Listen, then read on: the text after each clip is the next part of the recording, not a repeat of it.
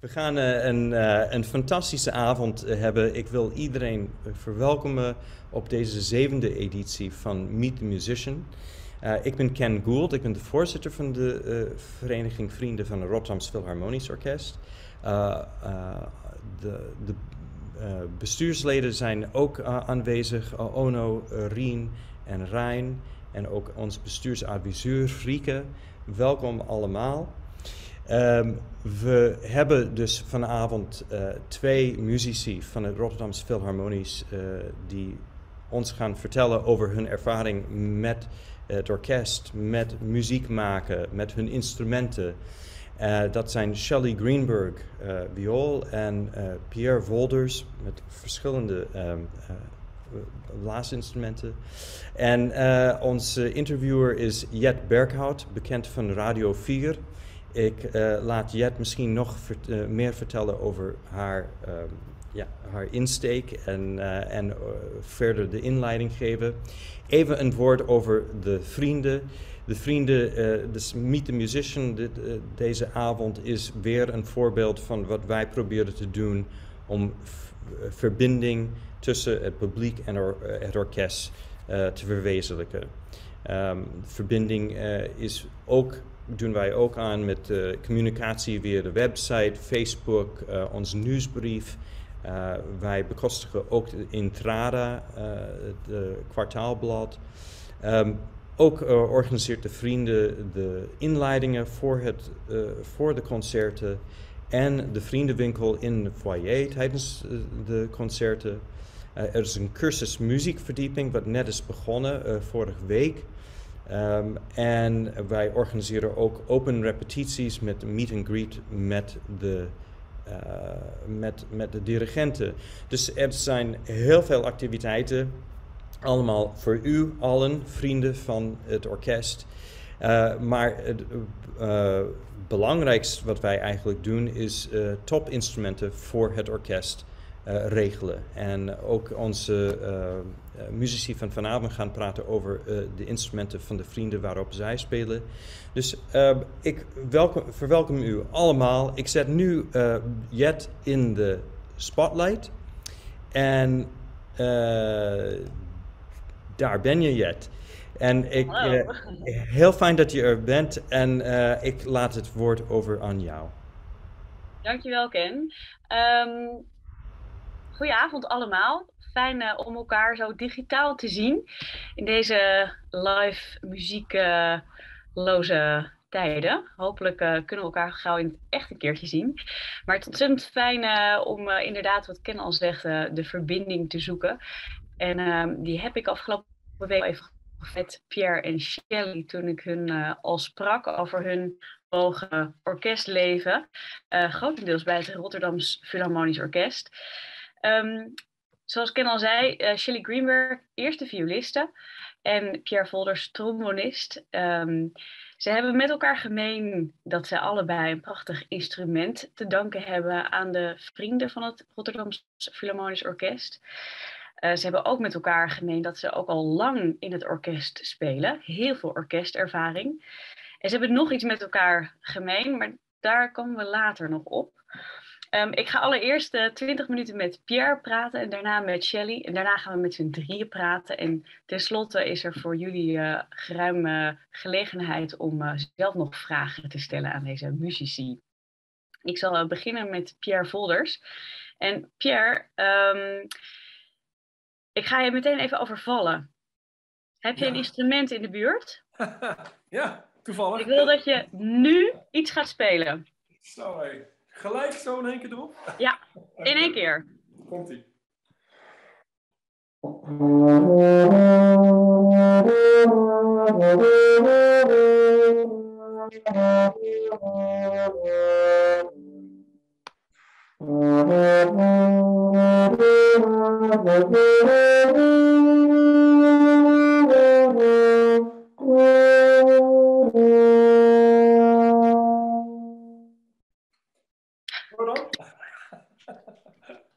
Van mij, maar ik neem aan namens alle kijkers. Ja, Pierre, ik, ik vraag dit niet zomaar, want eigenlijk wat ik je nu vraag, ja. dat is jouw vak. Ja, dat is, als trombonist is dat inderdaad een beetje mijn vak. Het, het is, uh, ja, de meeste van, van, de, van de mensen die, die nu mee, meekijken, van de vrienden, die weten als je trombonist zit altijd achteraan het orkest. En meestal als er hele mooie symfonieën gaan, dan is het fantastisch. Maar de trombonisten komen meestal in het vierde deel, gaan ze een beetje meedoen uh, met de hele club.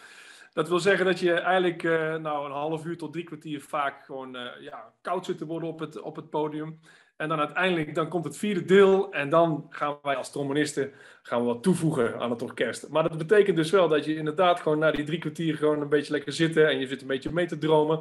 En één keer je instrument moet pakken en dan wordt altijd alles van je verwacht dat het toch wel op zijn plek valt allemaal. En dat is uh, eigenlijk ook wel het leuke van ons vak, maar dat kan ook een, een, een, een tricky of een stressvol iets zijn. Het hangt natuurlijk een beetje af wat voor soort stuk het is, maar dat, uh, ja, dat is mijn vak zorgen dat je op het juiste moment, en dat is meestal laat in, een, nog, in, in, in, in een uh, muziekwerk, zorgen dat je top bent. Dat je er bent. En de vraag is natuurlijk, hoe oefen je dat? Want thuis kan je natuurlijk elk moment even lekker het instrument aan je mond zetten, of warm worden, of inblazen. Maar hoe train je eigenlijk wat ik nu bij jou doe als overval?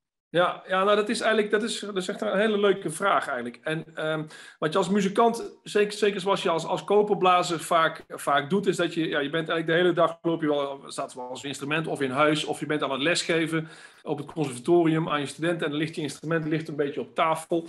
En dan is het meestal mijn truc eigenlijk om dat, om, zeg maar, op ieder moment dat je, dat je denkt van, oh, ik heb even een paar minuutjes over, ik pak even mijn instrument en ik speel even wat. En dat kan voor alles zijn. Dat kan een, een, een paar tonladders zijn. Maar dat kan ook bijvoorbeeld uh, die solo uit de Bolero uh, voor trombone. Een tricky uh, dingetje. Wat ook natuurlijk met 10 minuten wachten is. En dan moet het in één keer gebeuren. Eigenlijk gewoon uit het niets instrument pakken. En dan proberen zo goed mogelijk die, die orkestfragmenten te spelen. En dat leer je eigenlijk op het conservatorium leer je dat aan. Omdat er continu van alles van je verwacht wordt. En dat is eigenlijk zo'n beetje door blijven groeien bij mij ook. Dus dat is eigenlijk gedurende mijn hele loopbaan werk ik eigenlijk zo. Ik studeer veel, maar ook als je dan even weglegt of je gaat een kopje koffie drinken, je komt terug, je pakt je instrument en in één keer bam. Een klein stukje van, van dat of van dat werk spelen. En dat, uh, dat houdt je dus eigenlijk een beetje scherp uh, voor, voor het podium, dat je er een beetje aan gewend raakt. Maar ik moet wel zeggen, het blijft vaak toch spannend op het podium. Ja, kijk, wat ik al net zei, ik, ik kan het voorbeeld van de Bolero. En dat is natuurlijk voor, al het, voor het grote publiek is dat het meest bekende stukje. Iedereen kent die twee melodietjes. Wat toevallig voor trombone is dat een van de, van, van de solo's die wel heel mooi is, maar voor het instrument echt hoog en, en best wel ingewikkeld ligt. Dus ook altijd als je auditie bij orkest doet, deze zit er altijd bij in de eerste ronde van een proefspel. Deze moet je gewoon kunnen spelen. Lukt dat niet, krijg je die baan gewoon niet. Dus het zit, er is altijd een soort van beladen, ja, in beladen iets is daarbij. En dat, dat, dat blijft toch altijd een beetje spannend. Ook al heb je het al, ja, bedoel, ik, ik zei al, ik zit, uh, ik zit bijna 25 jaar in het orkest. Ik heb hem al heel vaak gespeeld. Maar toch is het altijd de eerste, als, als die dan weer komt, je hebt toch zweethandjes als je op het podium zit. En, uh... en is, het al, is dat tijdens de repetitie dan al spannend? Ja, eigenlijk wel. Het is, het, natuurlijk, kijk, um, je, je wil het eigenlijk voor je, voor je, voor je collega's, als je op, op het podium zit, dan wil je toch altijd even laten horen, ah, ik kan het nog, ik ben, ik, ik ben nog steeds in, in een hele goede, goede doen, in goede vorm. Dus eigenlijk het moment van de eerste repetitie, dat is voor mij altijd het spannendste. Als dan die bolero komt, en het, ja, kijk, Rotterdam Philharmonisch Orkest is natuurlijk echt een toporkest, dus de bolero is eigenlijk een stuk wat vaak, nou, als het één keer helemaal doorgespeeld wordt, moet je blij zijn. Dus uh, de tweede keer is het meestal, dan doen we nog hele kleine stukjes, maar dan, dan kom je al vaak niet meer... Uh, tot een heel stuk. Dus ja, die eerste keer. Of je, of je hem vaker dan één keer kan repeteren. Sorry, wat zeg je, Jet? Zelfs dus de vraag of je hem vaker dan één keer kunt repeteren. Ja, dat is bijna niet. Met dit soort hele bekende stukken, dus echt repertoire voor het orkest, is dat vaak niet zo. Dus dan moet je echt die ene keer dat je, dat je, dat je hem doorspeelt, moet het gewoon goed zijn. Dat geeft je namelijk ook een heel goed gevoel voor als het concert komt. En denk van, ah, het is toch weer gelukt, ik kan het nog steeds. En, en dat, dat gevoel moet je toch altijd uh, wel erbij hebben. En ik denk dat dat voor iedere blazer wel een beetje aan de hand is. Met, met natuurlijk van verschillende soorten repertoire. Maar iedereen heeft wel een beetje zoiets van... Je moet dan een keer een bevestiging hebben dat het goed is gegaan. En dat is... Uh... Maar je zegt, dat is eigenlijk het spannendst. Is het nog spannender om voor je collega's tijdens een repetitie het goed te doen... dan voor, nou ja, iedereen die nu kijkt, het publiek? Ja, ja, vind ik wel. Ik, uh, dat is natuurlijk, die collega's die eromheen zitten, die weten natuurlijk allemaal verschrikkelijk goed hoe het moet klinken, hoe het kan klinken. En die weten ook als het misgaat hoe dat gaat. Dus als je, als je een keer er flink naast gaat, dan is er altijd wel iemand die eventjes omkijkt van hé, hey, wat doe jij nou? En dat is, uh, kijk, er is wel een goede sfeer in het orkest. Hoor. Het is niet zo dat dat, dat, dat, dat angstig is of zo, maar voor jezelf wil je het gewoon, voor je collega's wil je het altijd, oh, weet je, ik, ik, kan het gewoon, dat vind ik leuk en ik, ik, laat, ik laat dat even horen. En dat is, uh, ja, dat blijft wel spannend. Dat kan, het kan natuurlijk ook gewoon een keer mis. dat, en Nee, want je zegt al inderdaad, je moet vaak delen lang wachten voor jouw noten. Eigenlijk heb jij van de blazers het, het, het minst, of in ieder geval relatief heel weinig partijen. Ja, ja, dat klopt. Hebben natuurlijk, kijk, um, zoals iedereen weet, je hebt natuurlijk eerste trompet, eerste horen, eerste trombone. Dat zijn, dat zijn de drie uh, uh, vaste uh, aanvoerdersplaatsen van het koper. En daarbij is natuurlijk een horen, die heeft nou ongeveer in ieder stuk wat je maar kan bedenken, zit hij in. Heeft hij ook altijd grote solos. Trompet, idem dito. Trombone ook, maar eigenlijk is dat toch minder. Die, die trombone is, toch vaak een beetje weg, weg, eh, weggeschreven. En pas, pas later echt in het romantische repertoire veel meer gaan, gebruikt gaan worden door de grote componisten. Dus ja, wij hebben niet van die hele mooie solo's, of heel veel mooie solo's, zoals bijvoorbeeld de eerste horen of de eerste trompet. En dat uh, vind ik persoonlijk wel een gemis ik hoor wel eens van die solos in de horen en denk oh, prachtig. Klinkt ook prachtig op trombone. Waarom staat het nou niet bij mij? dat is... Heb je dan soms spijt van je instrumentenkeuze? Nee, dat dan weer niet. Het is natuurlijk wel zo dat trombone gewoon het allermooiste instrument van de wereld is. Dus dat is wel... Uh... leg dat nog eens eventjes uit voordat we straks met Shelly gaan praten. Ja, nou ja. ja. Nou kijk, het trombone, als, als, als, als, uh, als klein kind ben ik op die, die tuba die ik net uh, op speelde, ben ik op begonnen. Ehm, en, en op een gegeven moment schakel je over, uh, als je een jaartje of nou, ja, 11, 12 bent, ben ik overgeschakeld naar trombone. En dan krijg je wel het gevoel, zo'n trombone is toch wel een heel stoer instrument, weet je. Je hebt met zo'n schuif. En eigenlijk kun je bij iedere stijl van muziek kun je met een trombone wel terecht. Hè? Of je nou van carnavalsmuziek speelt, of uh, de hele klassieke, of jazz, of in, in big bands, of in combo's. Alles is mogelijk met een trombone. En dat, dat maakt het eigenlijk zo... Uh, zo leuk van het instrument. Dat, dat je iedere stijl, die kun je zelf eigen maken. En dat, dat, is, dat is er bijzonder aan. En jij vindt het zo mooi dat jij ook met trombone vrienden buiten het Rotterdamse Philharmonisch Orkest ook nog een trombone ensemble hebt. Ja, we hebben, uh, dat is ook wel leuk. We hebben, uh, toen ik studeerde, was in, uh, ik ben in 1990 op het Rotterdamse Conservatorium gaan studeren. Bij de leraar George Wiegel, die nu inderdaad de directeur van het orkest is, gaf daar, dat was de grote trombone-goeroe. En uh, daar hadden wij toen in die, die lichting die toen een beetje ontstond, van de jaren, begin jaren 90 tot zeg maar 96, 97, 98. Er kwam een ontzettende goede lichting trombonisten kwamen toen op het conservatorium. Heel veel talent. En George die wist, die wist dat op een of andere manier dusdanig te bundelen dat wij buiten erg goede vrienden uh, werden. Ook nog een keer heel, het ontzettend leuk vonden om met elkaar samen te spelen. Um, toen wij afstudeerden, toen kwamen het voor ons gelukkig kwamen er heel veel banen vrij in de grote orkesten in Nederland. Dus we hebben allemaal gelukkig een baan kunnen vinden. Maar wij vonden het zo leuk om, uh, om samen te spelen, dat we toen op een gegeven moment bedacht hebben van, weet je wat we doen? We richten een, uh, een trombone-ensemble op. En dat is het een nieuw trombone-collectief uh, geworden. En dat bestaat inmiddels ook alweer twintig jaar.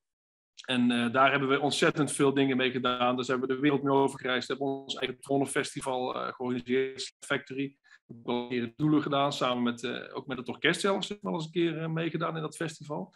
Ja, en dat, dat ensemble blijft voor ons, buiten dat het echt, echt over vrienden gaat, ook wel iets om je. Ja, daar, daar kun je helemaal in, in, in kwijt in dat ensemble. Dat is het top-level trombone spelen en, uh, en gezelligheid. En dan ben ik wel benieuwd, want zo'n vriendschap is ontzettend waardevol, lijkt me. Tegelijkertijd, als je allemaal op hetzelfde moment afstudeert en gaat auditeren, misschien op dezelfde plekken, ontstaat er niet ook een uh, concurrentie of juist uh, strijd? Uh, ja, dat kan ontstaan, maar gelukkig in, in die groep was het wel zo. Um, wij waren zo, zulke goede vrienden van elkaar. En, en Sjors heeft ons op de een of andere manier een, een bepaalde studie uh, manier aangeleerd dat wij altijd samen studeerden. Dus als je, als je bijvoorbeeld op de gang liep en je hoorde een of van iemand anders trombone spelen, dan, dan klop je even op de deur. En dan ging je even, even, even een praatje maken of je ging even samen studeren. Dus wij, wij wisten van elkaar ontzettend goed wie wat kon. En, en je weet ook, als je elkaar dus op die manier gaat studeren, dan word je, je ga je elkaar op naar een hoger niveau brengen. Je gaat heel kritisch zijn op elkaar. Maar ja, iedereen weet, en dat, dat, is, dat is nou eenmaal zo, als je naar auditie gaat, dan kun je zeg maar vrienden zijn tot het moment dat je op het podium stapt. Maar op het moment dat de auditie begint, is het wel, ja, je wil allemaal heel graag die baan. En er is er maar één. Dus dan ga je toch je best doen om, om, ehm, om die baan te winnen. En het leuke van onze groep, vriendengroep, is wel dat iedereen elkaar dat ook gunde. Dat, dat, is, ja, als iemand die baan won, weet je wat, was niet van, verdikke me, ik had hem ook willen hebben. Dat dacht je misschien wel heel even. Maar aan de andere kant dacht je, oh, dat is ook wel te gek dat, dat hij die baan heeft. En, dat, uh, ja, en, en die sfeer is er nog steeds. Kijk, in, in, in heel Nederland, in het Concertgebouworkest, bij ons, uh, residentieorkest, oh, Brabant of het uh, Philharmonie Zuid-Nederland tegenwoordig. Zitten allemaal trombonisten die allemaal uit, uit die lichting komen ja, we hebben nog steeds ontzettend goed contact met elkaar. Dus dat is, dat is altijd leuk. Ik zit dan wel te denken, per jaar studeert er zo'n lichting af. Maar jullie hebben dus met die lichting gewoon eigenlijk al die banen ja. te gekregen. Wat moeten ja. die andere lichtingen dan? Nou ja, in, in dit, er, zijn, er zijn dus een aantal, we hebben dus die banen gekregen. Er zijn ook een aantal mensen op een gegeven moment, uh, ja, er zijn toch nog steeds meer banen dan, dan wij met z'n met met zes of zevenen waren. Um, er zijn een aantal mensen die voor gedurende de hele tijd wel of met pensioen gegaan. En de mensen die we nu opleiden, gelukkig zijn het vaak leerlingen die bij ons gestudeerd hebben. Dus het systeem werkt nog steeds wat, wat George ooit eens een keer bedacht heeft. Die zijn nog steeds in staat om die banen te winnen. En ja, heel, het, is, het gaat natuurlijk maar langzaam, maar toch gaan er toch steeds mensen met pensioen. Of sommige mensen zijn uh, ja, die noodgedwongen om te stoppen. Dus er komt altijd wel weer ergens een plekje vrij. We hebben ook heel veel buitenlandse studenten. Dus dat betekent ook dat er eh, studenten weer teruggaan naar, eh, naar het land waar ze vandaan komen. Dus dat houdt toch de markt een beetje, een beetje gaande. Ja, want jij geeft zelf ook les. Uh, hoe vaak heb jij leerlingen naast je zitten in het Rotterdams? Uh, nou, eigenlijk best wel geregeld. Want ik, ik heb wel een beetje de filosofie, als je, als je lesgeeft op een conservatorium, dan is het ook wel fijn als, als, je, als je dus uh, studenten in een bepaalde uh, traditie probeert op te leiden, dat, dat ze dus echt bruikbaar zijn voor een, voor een groot symfonieorkest. Dat ik toch in ieder geval, dat ze, als ze bij mij studeren, dat ze allemaal minimaal één keer de kans krijgen om bijvoorbeeld in het Rotterdams Philharmonisch Orkest naast, naast mij te zitten, om dat een keer mee te maken. Als een soort ook van een goede leerschool. Maar ik moet er wel bij zeggen, een leerschool is leuk, maar ik moet wel het gevoel hebben dat ze het kunnen bedoel, wat ik al zei, in Rotterdam gaat het vaak heel snel op repetities. Dus je hebt niet echt heel veel tijd om alles uit te leggen. Dus mensen moeten goed voorbereid zijn. En ik moet ook het vertrouwen hebben dat als iemand naast me zit, dat ik ook echt als er een concert komt, dat ik niet moet denken van, oh god, als het maar goed gaat. Dat, uh... Ja, wat, wat geef je hun mee als, als iets van typisch het Rotterdamse Philharmonisch Orkest om in te spelen? Is er een bepaald soort klank of een soort uh, manier van spelen die typisch is voor het Rotterdamse Philharmonisch Orkest? Ja, dat denk ik wel. Ik denk dat, dat iedereen die het ook kan beamen die nu zit te luisteren, dat het orkest heel veel energie heeft en, en, energie kan geven. Dus als je mensen die ook die naast me komen zitten, die, die voor het eerste keer meespelen, de eerste opmerking is bijna altijd, joh, je moet niet te zacht spelen. Hè? Je moet wel een keertje gewoon even lekker doorblazen, dat, dat, het, dat, dat het gewoon lekker klinkt. De zaal is super groot, het orkest die gaat uiteindelijk echt meestal uit zijn dak bij die grote stukken, dus ben voorbereid dat, dat er heel veel energie uh, vrij gaat komen. Dus ja, ben niet te bang. Vooral dat, niet bang zijn. Nou, um, speel jij daarnet uh, een beetje een overval van mij op uh, ja, euphonium. Ja. Het instrument heb je te danken aan de vrienden ja, van het klopt. Orkest. Ja. Kun je even vertellen hoe dat is gegaan? Ja, zeker. Nou, ik, ik ben natuurlijk als, als trombonist in het Rotterdam Philharmonisch Orkest. En die of euphonium, die komt eigenlijk in het orkest niet, niet als een vast instrument voor. Hè. Je hebt de bastuba, en dit is eigenlijk de kleinere versie van de tuba. Nu zijn er een aantal componisten die, eh, zoals uh, Mahler heeft de zevende symfonie van Mahler natuurlijk, die begint met het instrument. Hè. De eerste 20 minuten is uh, grote euphonium solo. Um, ik, een stukje uit de Planets, waar ik de next speelde, daar zit die euphonium in. Dus eigenlijk zijn er maar, nou, als je 10 tot 15 grote stukken hebt waar het instrument in voorkomt, dan hebben we het hele repertoire gehad. Ik was als kind ben ik op dat instrument begonnen en dan heb je een soort van jeugdliefde die altijd een beetje bij je blijft. En toen ik dus die baan kreeg, 25 jaar terug in het orkest, toen werd mij ook gevraagd van, joh, ja, uh, dat instrument af en toe ook gespeeld worden. Nou, dat wilde ik wel. En toen had het orkest al een, een, euphonium van, van de vriendenvereniging. Dat was de oude euphonium. En die was op een gegeven moment, was die eigenlijk, ja, die, die werd echt, die ging verslijten gewoon. Die, dat is het nadeel van de koperinstrumenten. Dat wordt niet meer waard, dat wordt minder waard. En het gaat ook uiteindelijk, verslijt het ook echt. Dus toen moest er een nieuw instrument komen. En het leuke was dat eigenlijk onze tuba-speler, Hendrik Jan Renes, die had al een tuba van een, een Nederlands merk, Adams, waar die mee bezig was. En die, die had op een gegeven moment al gezegd van, nou, Pierre je moet toch ook eens even komen kijken daar. Want die, die, die mensen bouwen op het moment ontzettend mooie instrumenten. En uh, nou, toen ben ik daar naartoe gegaan. En, nou ja, het was eigenlijk binnen, binnen een half uur was het bekeken. Er stonden een stuk of 10, 15 van die instrumenten. En eigenlijk was dit de eerste die ik pakte. En toen zei ik al tegen die man, nou, we zijn eruit. Deze kun je zo een strikje omdoen. Deze is goed. En uh, ja, zo is dat gekomen. Dus die, de oude instrument van de vrienden, die was, die was eigenlijk versleten. En deze, die konden we gelukkig weer aanschaffen. Ja, dat is echt een fantastisch instrument. Dat is, uh, dat is leuk. En eigenlijk door, door deze aanschaf zijn we dus dusdanig goed contact gekomen met, uh, met die fabriek. Dat we nu als trombonesectie ook compleet op, op een Nederlands merk trombone spelen. We zijn een soort van endorser geworden van, van Adams. Ja, ja. ja. En uh, dat is, uh, ja, dus hebben we met z'n drieën hebben daar een, een, trombone ontwikkeld, die ook opnieuw een fantastisch instru instrument is uh, geworden. En ja, die wordt nu zeg maar productierijp gemaakt, zoals dat dan heet. Hè? Zodat die voor, voor de grote, ja, zeg maar voor, voor grote verkoop ook klaargemaakt gaat worden. Dus dat is erg leuk en daar, daar, zijn we super dankbaar voor. Dus dat is eigenlijk door de vrienden dat dat balletje zo is gaan rollen. Ja. Dus dat is voor jij zei nog dat jij, uh, toen we elkaar even aan de telefoon hadden, dat jij überhaupt uh, de vrienden zo ontzettend dankbaar bent. Dat je zo blij bent dat ze er zijn. Ja, nou, ik denk dat het voor het orkest dat het heel belangrijk is als je, dat, dat er een club is die idolaat is van het orkest, die het leuk vindt om naar klassieke muziek te, te luisteren. En die dus ook heel vaak in de zaal zit. Hè? Ik bedoel, ik, ik zat net eventjes dat scherm door te bladeren waar iedereen op staat. Het is eigenlijk wel grappig. Het lijkt een beetje op de ring van het doelen. Als je zo kijkt, zitten heel veel mensen zie je. Hey, ja, dat, oh, ja die, die, ken ik en die ken ik. En die zitten vaak en die zitten daar vaak. Dat is eigenlijk wel heel leuk om te zien. Maar het is dus ook belangrijk dat het orkest dat ook goed beseft. Dat het, dat het zo is. En uh, ja, ik zei het tegen jou, Jet, ook uh, aan de telefoon. Ik denk dat het orkest daar soms wel eens meer bewust van moet zijn. Hoe uniek het eigenlijk is dat er een, een club mensen is die gewoon echt houdt van muziek en ook echt van het orkest houdt. En dat is, dat is iets bijzonders. Nou, waarvan akte, Pierre? Dankjewel. Zeker. Ik um, wil graag naar Shelly overgaan, maar met een vraag van jou eigenlijk, Pierre. Want ik constateerde al dat jullie beiden lang in het orkest zitten. Toen zei je terecht, ja, we zijn met heel veel mensen in het orkest, wel honderd mensen. Jij en Shelly zitten vrij ver van elkaar af eigenlijk. Um, ja. En toen zei ik, eh, is er ook iets van Shelly wat jij misschien zou willen weten? Uh, ja, Shelly, even denken. Hoe, uh, hoe ervaar jij nou zeg maar, de laatste tijd hoe, hoe het orkest is ontwikkeld? Ik bedoel, uh, ik zit 25 jaar in het orkest. Volgens mij zit jij denk ik al nog, nog een stuk langer. Bijna 39 39 jaar. Dat bedoel ik, ja. Hoe, hoe, hoe, vind jij nou de ontwikkeling zeg maar, van het moment dat jij in het orkest kwam tot aan wat het nu is? het is um, in, in grotendeels is het een stijgende lijn geweest. Het was... Um, ik vind, ja, uh, ja in, in, in, in vele opzichten is er, is er uh, veel, um, veel goed geworden. Goed, goed, ik was er al in 83 en om te denken dat het in de laat 70 jaren toen uh, Edo kwam, is het echt ongelooflijk omhoog gegaan. En, um, en wat zal ik zeggen? Er is um, veel dingen, dat, dit, klinkt wel raar, maar als je op tournee ging vroeger, dan was het een hele andere ervaring dan als je tegenwoordig op tournee gaat. Want vroeger moest je altijd met twee uh, mensen op een kamer en, uh, en er waren lang niet zulke goede hotelkamers en dat soort dingen.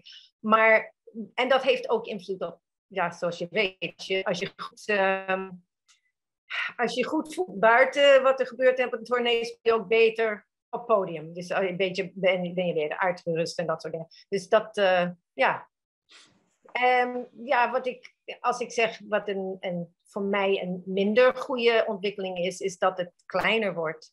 En je had het over dat je, als je iemand naast je hebt, uh, die komt voor het eerst en je zegt van, hey, wees niet bang, speel lekker.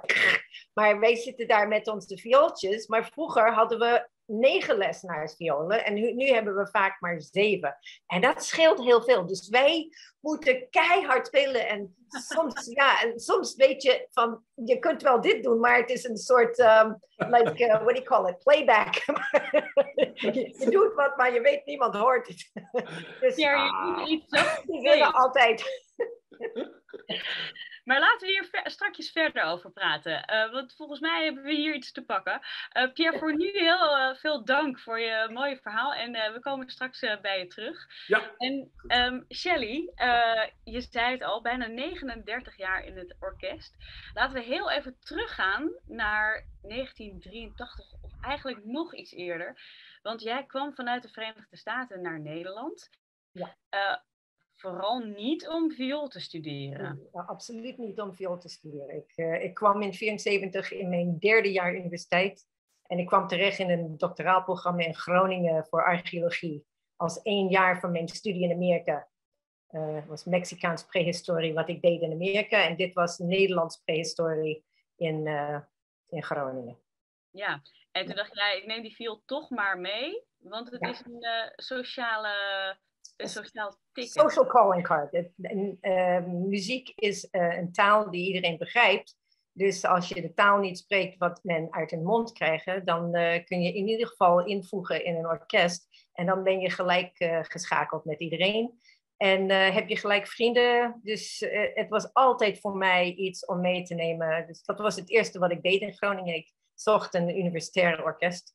Ja, en ging adopteren. Een studentenorkest. Een studentenorkest. Nou, heb ik ook wel in studentenorkesten gespeeld. En ik kan wel zeggen dat het contrast met uh, een orkest als het Rotterdamse Philharmonisch Orkest vrij groot is. Um, en toch heb je ergens een stap gemaakt daartussen. Ja, nou, ik kwam terecht in een hele goede. Het niveau van studentenorkesten was heel hoog destijds. Het is in 74. Um, en ik kwam in het Nederlands Studenten kamerorkest. En dat was eigenlijk een beetje de, het moment dat ik dacht van, oh my god, ik hou toch echt van muziek. dus, uh, je was er eigenlijk mee gestopt toen je Ik was gestopt met viool, viool studeren. Ik, ja, ik, ik wilde absoluut niet het vak in. Dat was nooit, absoluut nooit mijn, was nooit mijn bedoeling. Uh, het was te veel werk. Veel te moeilijk. Ja, um, uh, de universiteit was, was een makkie erbij voor mij. Um, en het was ook heel interessant, maar je, je kon ook een dagje uh, niet uh, um, in de boeken zitten of in een opgraving. En je was nog steeds een archeoloog. Maar met viool is dat wel nog een beetje anders. Dus je moet het echt bij blijven doen. Altijd. En um, nou, dus ik, um, maar in dat ene, met dat ene programma eigenlijk uh, was ik gewoon verliefd. En ik dacht, nou, ik wil eigenlijk in ne Nederland ook blijven. Uh, wat kan ik doen? Ik kon een assistentschap in Groningen aan de universiteit kon ik, werd ik aangeboden. Dus ik, dat kon ik doen, maar dat vond ik niet zo interessant. Of ik kon de muziek in om als student uh, uh, verblijfsvergunning te hebben in Nederland. En um, ik heb besloten om studie af te maken in Amerika. Ik kwam gelijk terug en toen heb ik geauditeerd om eerst een leraar te krijgen en daarna op het conservatorium te komen. Dus, dat is een beetje Eigenlijk om een verblijfsvergunning in Nederland te krijgen dus. Ja, ja studentenverblijfsvergunning is makkelijker dan andere soorten verblijfsvergunningen. Ja, dus toen dacht je, nou ja, kijk... Uh, Kom maar weer studeren. Of ik kan studeren. Archeologie onderwerp niet zo interessant. Wel ja, ik ga eens uh, auditie doen op het conservatorium op mijn 21ste. Ik was, ja, ik was bijna 21 ja. en toen kwam ik bij uh, Davine van Wely. Ik denk dat veel van de mensen in de uh, vrienden haar naam zouden kennen. En daar heb ik uh, drie jaar bij gestudeerd. En daarna ben ik overgestapt en heb ik bij Herman Krebbers vier jaar gestudeerd. Dus, was, ja, was... ik vind het een ongelooflijk verhaal. Dat je op je zestiende bent gestopt en op je 21ste eigenlijk omwille van een verblijfsvergunning dan maar auditie En vervolgens een glansrijke carrière hebt als eerste violiste in het ja. Philharmonisch Orkest. Ik zou je zeggen, het, is, uh, het blijft voor mij altijd iets bijzonders, omdat ik ben een van de weinige mensen die een heel andere opgroeiing heeft gehad dan de meeste van mijn collega's. Die, dat is echt de richting die zij wilden al van vroeg af aan. En, en dat heb ik niet gehad. En uh, daar zijn uh, voor- en nadelen aan. Um, in zoverre dat hun techniek hebben ze langer onder de, in de vingers. En ik heb het minder lang, maar aan de andere kant, ik heb een ongelooflijk rijk uh, achtergrond van uh, wat ik geleerd heb en wat ik gedaan heb. Dat anders is dan als ik uh, als kind al helemaal gefocust was. Dus ik, uh, ik, ik, vind ze allebei fantastisch. Ik heb ontzettend geluk gehad. gewoon lichamelijk kon ik dat ehm, voor elkaar krijgen. Sommige mensen, net zoals met talen. Ik heb een accent Sommige mensen hebben helemaal geen accent als ze een nieuwe taal leren. Andere mensen hebben nog veel erger accent. En dat, dat zijn dingen, dat, dat is gewoon aangeboren. Of je die vermogen om je mond om een nieuwe taal uh, uh, kan uh, zeg maar, maken. Dat, dat, je, um, dat heb je niet voor het zeggen. Dat is niet alleen je gehoor. Je moet het gewoon kunnen doen. En uh, dus dat is met viool ook geweest. Ik heb geluk. Nou zit je bijna 39 jaar in het orkest. Hoe hou je dat leuk? Hoe hou ik dat leuk? Oh, dat vind ik een interessante vraag. Um, voor mij um, twee factoren. Eén, ik, maar dit is hoe ik ben sowieso met alles. Ik wil altijd leren. Dus de momenten die het allerleukste voor mij zijn, zijn de momenten in het orkest wanneer ik iets leer. Ik kom eruit na een week met uh, informatie die ik niet had toen ik de week begon. Dus dat is, en ja, dat is altijd, je weet het niet, maar er is altijd de mogelijkheid. Dus er is altijd, uh, die mogelijkheid die er is, maakt je altijd uh, nieuwsgierig naar de volgende week. En wat leer je dan? Ah, bijvoorbeeld, um, er was, wij hadden, nou, ik, uh, ik ben een helemaal, ik was nooit gek op Sibelius. En omdat ik dat die muziek helemaal nooit begreep. En de, op een gegeven moment hadden wij een fabelachtig uh, oude dirigent, Pavel Berglund. En we speelden geloof ik Sibelius 5. En, en veel van mijn collega's die vonden dat allemaal prachtig. Oh, prachtig, prachtig. En ik dacht, ik begrijp er niks van. De, de ligt, het ligt aan mij, ik, ik begrijp het niet. Maar wat ik heb gedaan, is ik heb de, het stuk uit hoofd geleerd. En ik heb de hele, het hele concert onder, onder, onder de uitvoering, heb ik alleen maar naar de dirigent gekeken om te ontdekken waar de dirigent het bijzonder vond. En ik vergelijk, het was zo ongelooflijk verbazingwekkend. Dat dingen die ik dacht, nou, dat zijn misschien de romantische momenten. Daar was gewoon. En dan waren er dingen dat ik dacht, ik hoor helemaal eigenlijk niks. En dan zag je. En ik oké. En het deed me denken aan een, naar een Woody Allen film gaan in Nederland. Ik ben een Joods mens uit New York. En als ik naar een Woody Allen film ga, ik ken dat. Ik ken die, die taal.